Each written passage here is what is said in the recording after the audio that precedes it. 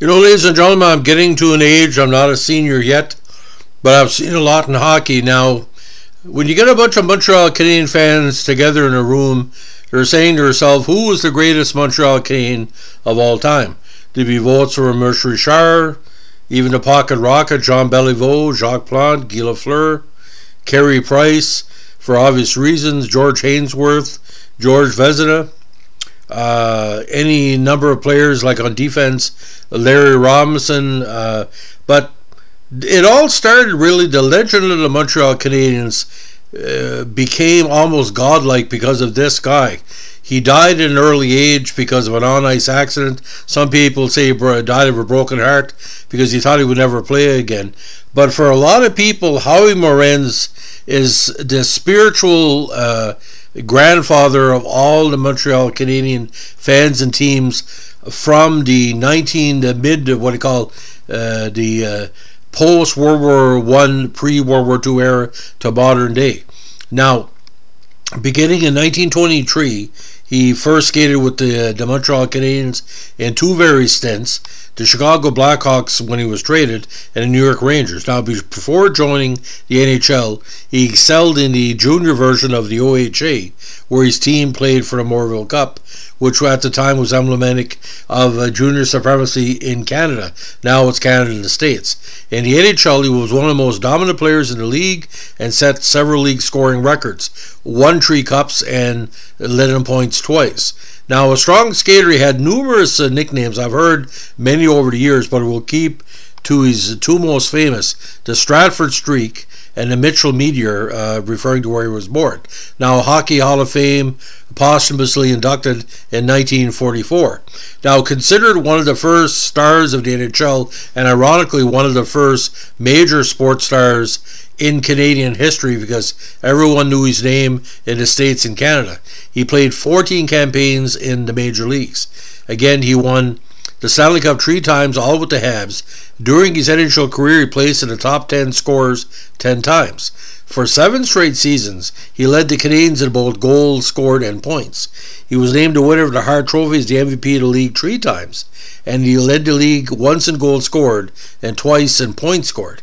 After the introduction of the All Star teams in 31, he was named to the NHL All Star team twice on the first squad and uh, on the second team once. Now, Morenz, according to published reports, died from complications of a broken leg.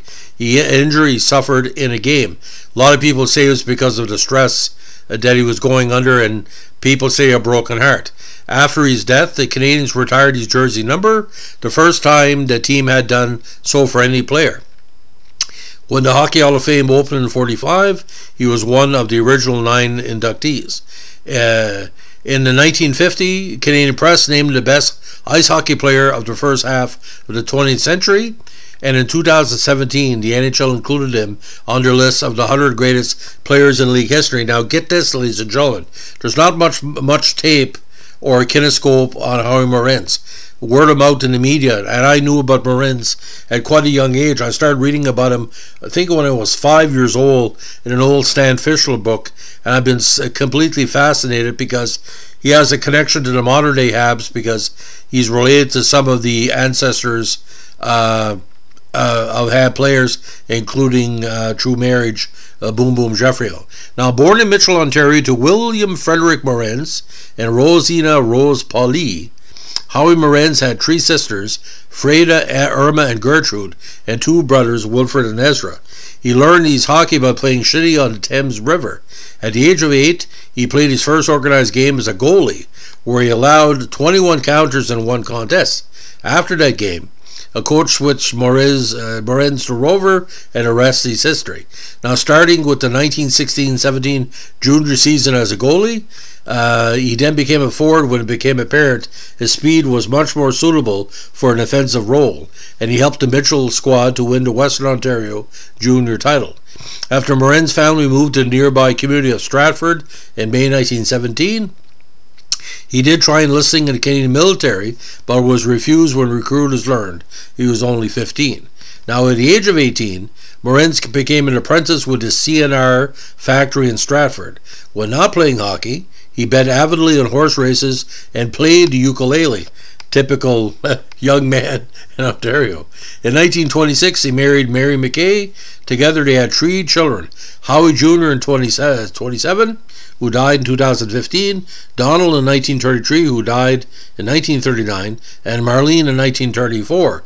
Now, Marlene, who passed away in 2018, later later married Bernie Boom Boom Geoffrion, uh, who played both for the Habs and the Rangers from 50 to 68. Their son, Morenz's grandson Dan, played for the Habs in 1980. Dan's son Blake played for University of Wisconsin and won the Hobey Baker Award as the best college player in the States in 2010.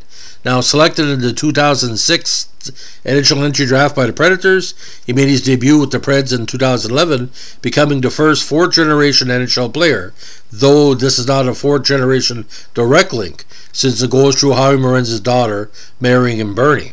Blake was traded to Montreal in 2012, meaning that all four generations of the Morenz Geoffrion family have played within the Canadiens organization.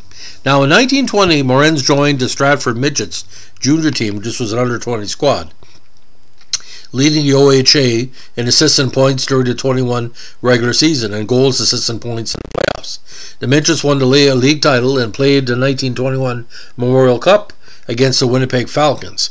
While Morenz scored a hat trick, three goals in the second game of the series, the Midgets lost the total goal series 11 and 9.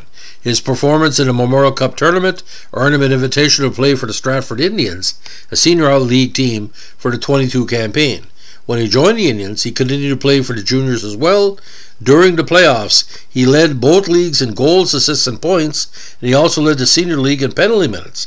Playing exclusively in the senior league in the 23 season, he led the team uh, led the season in assists, playoff goals, points, and penalty minutes. Now, during a CNR hockey tournament held in December 22 in Montreal, he scored nine goals in the game for Stratford. A friend of Leo Dandurand, the owner of the Habs, refereed the game and told Dandurand how good Morenz was. Now, Dandurand went to Stratford in January 23 to watch Morenz play and decided he wanted to sign him to the Habs. In April, he met with William Morenz, and because of the age of 20, Howie was still legally a minor. William told Dandurand that he wanted Howie to finish his apprenticeship at the CNR, which would take another two years. However, in July, Dandurand learned that Morenz and his father had been in contact with the Toronto St. Pats, a rival team in the NHL which would evolve into the Maple Leafs. Fearing that Morenz would sign in Toronto, Dandurand sent his friend Cecil Hart to Stratford with instructions to sign Morenz at any cost. On July 7, 23, Morenz signed a contract with the Habs for three years with a salary of $3,500 per year and a $1,000 signing bonus, a considerable amount for a first year pro. Now, right after signing the contract with the Habs, he began to reconsider joining them. Stratford residents, as well as senior team, wanted him to stay, and Morenz yielded to the pressure. He wrote a letter in August to Dandurand, explained that he could not leave Stratford, and included a check given to him as a signing bonus. After receiving the letter, Dandurand phoned Morenz and told him to come to Montreal to talk in person. In Montreal, Morenz began explaining his reasons for not signing to Dandurand, but it began crying and could not finish. In response, Dandurand falsely threatened that if Morenz did not join the Habs, his pro career would be over. Hearing this, Morenz relented and agreed to report to the Canes training camp later in the year. Now, on December 23rd, uh, December 3rd, 23, he arrived at the first Canadiens training camp and quickly impressed his new squad. He made his NHL debut on December 26 in Ottawa against the Senators, scoring one counter. Now, at the conclusion of the 24 season, Morenz first in the NHL, he had 13 goals and 3 assists in 24 games. Finishing first in the league for the first time in five years, the Canadiens faced the Senators in the playoffs for the NHL title. In his first game of the two game total goal series, Morenz scored the only goal and added another goal in the second game as the Canadiens won the series five goals to two. As the champions of the NHL, the Canadiens played two teams from Western Canada for the Stanley Cup. They defeated the Vancouver Maroons of the PCL, PCHL, PCHA, excuse me, in two games of best of three series, and then faced the Calgary Tigers of the Western Canada Hockey League. In the first game against Calgary, Morenz scored a hat trick as the Habs won, won by a score of 6 1. He scored another goal in the second game as Montreal defeated the Tigers to win their second Stanley Cup title and Morenz' first with the team. Let's put this in perspective, ladies and gentlemen. The Montreal Canadiens of the modern era, all the success links to Morenz's arriving. Now, but how good was Howie Morenz in that first year? Well, you couldn't stop him. He was going to get his goals whether you liked it or not. And it showed the next season. The following year, he scored 28 goals and had 11 assists for 39 points. Plays second on the Habs in 40 NHL in scoring. He had uh, seven goals and eight points in six playoff games as Montreal lost in the finals to Victoria Cougars of the WCHL. Now Morenz tied with line mate the great Aurèle Joliat in leading the Habs in scoring in 26 with 26 points, finishing fifth in the league. In 27, he was third in the league in goals with 25 and points with 32 to again lead the Habs. The one goal he scored in four playoff games was the series winner in the quarters, eliminating the Montreal Maroons from postseason contention. Now, the 28th season, a lot of people said it was their best, his best ever in the NHL. On March 24th, in the final game of the year, he earned two assists, tying the NHL record for assists in the season with 18 and becoming the first player to reach 50 points in the season, finishing with 51. Now, at the time, ladies and gentlemen, rarely you would see two assists on a goal. It was like one goal and then somebody would be called to assist.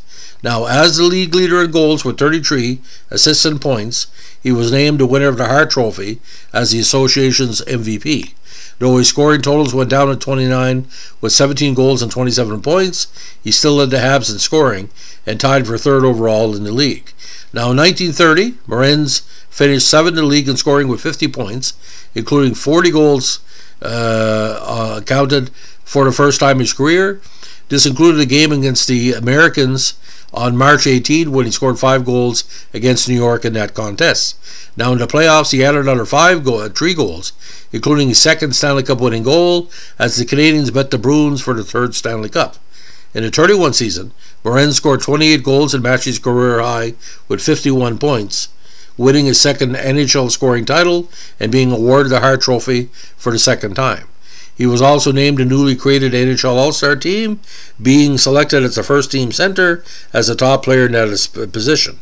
In the playoffs, the Canadiens reached the Cup final for the second year, playing the Blackhawks. Playing with an injured shoulder, being held back by the Blackhawks, he only scored one goal throughout 10 playoff games. The final playoff uh, goal uh, in the postseason that year, as he won his third Stanley Cup with the Habs, mini dynasty in the early 30s. The 32 season was another productive season for Morenz. With 49 points, he finished third in the league scoring and became the first player in NHL history to win the Hart for a third time, also being named to the first All Star team again. On March 17, 32, game against the New York Americans, he scored his 334 point with assists, passing the great Cy Denneny as the NHL record holder for career points. Now, Minor injuries had led to Morenz's point totals going down the following season as he finished second on the Habs in scoring behind Joliat. The first time in seven years he did not lead the Habs. He ended up 10th in league scoring with 35 points. Now in the postseason, he had three assists in two games. The 34 season also saw Morenz goal and point totals fall to 8 and 21. Even with his decline in scoring, he still managed to reach a significant milestone, once again passing Cy uh, Denneny to do so. Against the Red Wings on December 23, 33, he scored his 249th career goal to become the NHL leader all time for counters. On January 2nd, 34, Morenz unfortunately twisted his ankle in a game in New York, bruising the bone and tearing ligaments. It was the first serious injury of his career, and he was unable to play for a month. Now, Morenz uh, was eventually unable to play at his previous level, and the Canadiens fans, in, in a very, very uh, public and negative incident began booing him, which I completely, completely think got into his mind. Now, with his decline in production, reports of the Canadiens wanting to trade Morenz began appearing in Montreal newspapers.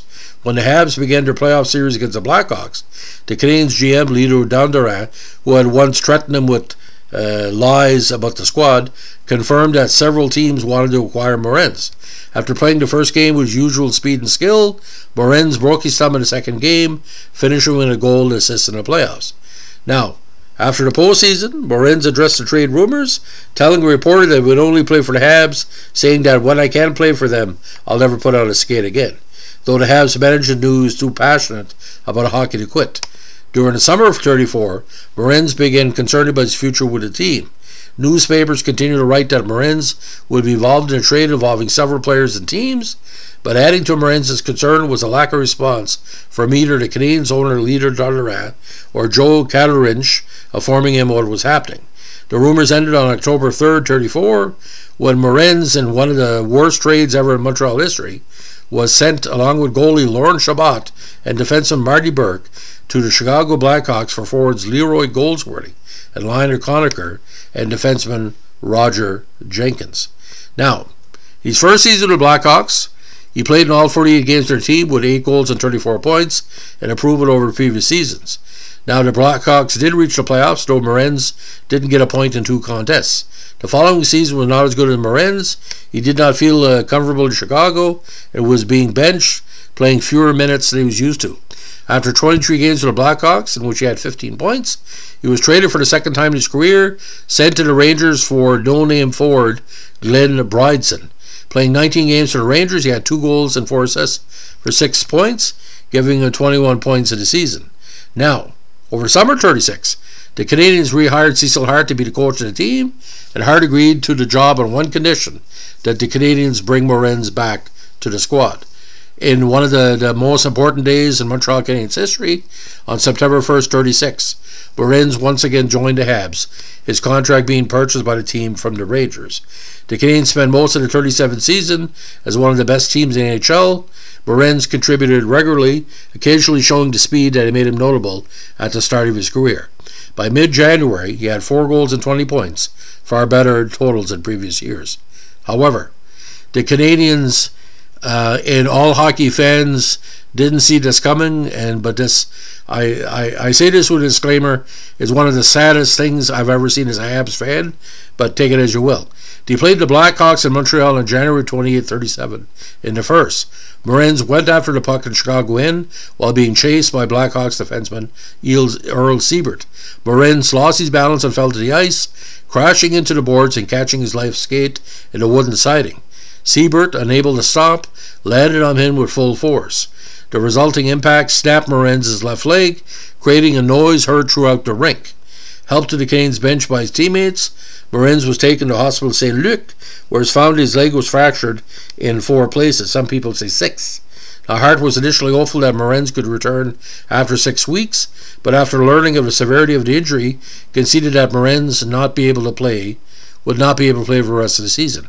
Now, while recovering in the hospital, Morenz received many get well cards and visits from his teammates and players from other NHL teams.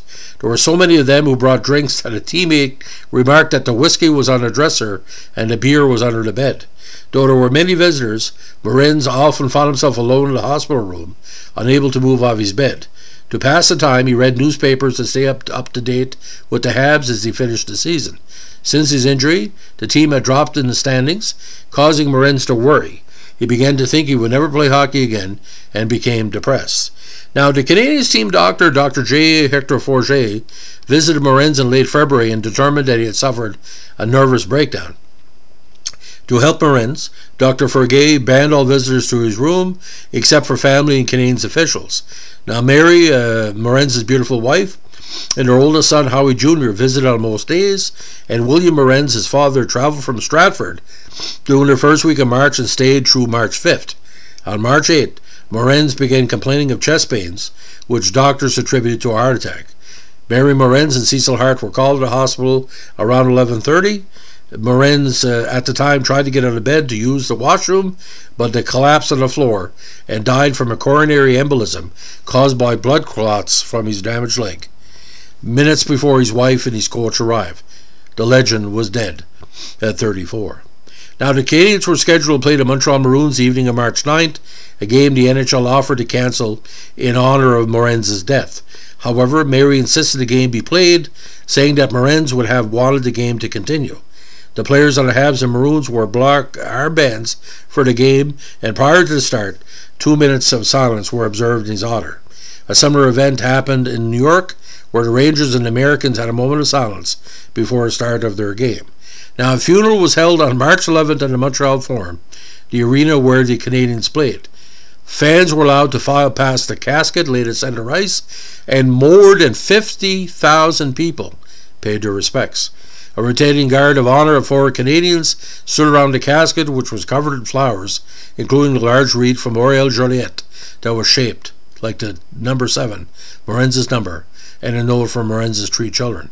The entire service was broadcast on the radio, and after its conclusion, he was buried in the Montreal, uh, Mont Royal Cemetery in Montreal. Now, Montreal uh, was in mourning for months after his passing. To honor him, the Habs retired his jersey number 7 on November 2nd, 37, the first time the team honored a player in that fashion. This was prior to a benefit All Star game, which was held at the Forum to raise money for the Morenz family. A team composed of players from the Habs and Maroons were defeated 6 5 by a team from players uh, from the other squads. Now, one of the most skilled players in the early NHL, he uh, led the Habs in both goals and points from 30, 26 and 32, although he tied with the great Joliat in 1926. At the time of his death, he had set an NHL record for most career points with 472. Now, again, Hockey Hall of Fame induction 1945, one of the original nine, and uh, uh, Canadian Press uh, named him the best hockey player of the first half of the 20th century. In 98, he was also ranked 15th on the Hockey News lists of the 100 greatest hockey players. Now, uh, Morenz was also listed on the NHL Top 100 in 2017. Now, this how it goes. True is the exciting play, Morenz encouraged the expansion of the NHL, helping bringing pro hockey to the States.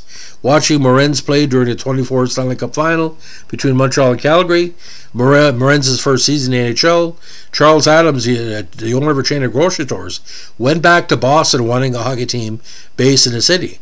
That summer, the NHL granted Adams a franchise for the following season, uh, which he called the Boston Bruins. So a Montreal Canadian player was so impressive, he helped create the Boston Bruins. I kid you not. Now, boxing promoter Tex Rickard, who also worked with Jack Dempsey, owned the Madison Square Garden, also saw Morenz play in the early career and agreed to add ice to his building for a New York team known as the New York Americans. Now, as part of this agreement, Morenz and the Canadians played the first game against Americans on December 15, 1925. Now, Morenz's daughter Marlene married uh, Boom Boom, who also played for the Habs and Rangers, and was also uh, later inducted into the Hockey Hall of Fame. When the Canadians retired Jeffrey Geoffrion's number on the night of his death on March 11, 2006, the team recognized the link between the two men. As Jeffrey Geoffrion's banner was being raised to the rafters, Morenz's banner was lowered halfway to the ice. Once Jeffrey Geoffrion's banner reached Morenz's banner, the two were raised together. So, uh, ladies and gentlemen, if the legends are true, from Stratford to Montreal to Chicago to uh, New York, back to Montreal, creating really the modern NHL, because uh, just like Babe Ruth, just like uh, Jim Thorpe, uh, uh, Morenz, you say you you don't say he plays like Morenz. You wish he could play like Howie Morenz. The modern era started with Howie Morenz because uh, a superstar he was and a superstar he's presented. He saved the Montreal franchise from itself. He's, he helped create the Bruins and the Americans and what I call the Americanization of the NHL. So just go to recap again. Stanley Cup 24, 30, and 31. 30 and 31, the mini dynasty for Montreal. Top scorer in 28 and 31. Hart winner 28, 31, 32. First team All Star center 31 32. Second team uh, All Star center and 30 33. Now uh, there's various uh, publications about Howie Morenz, the great Stan Fischler, Brian McFarlane, Dick Beddoes have written on him. But to put this in perspective, ladies and gentlemen, okay, 5'9", 165. Not the biggest man in the world, but they, they, they say to be legendary.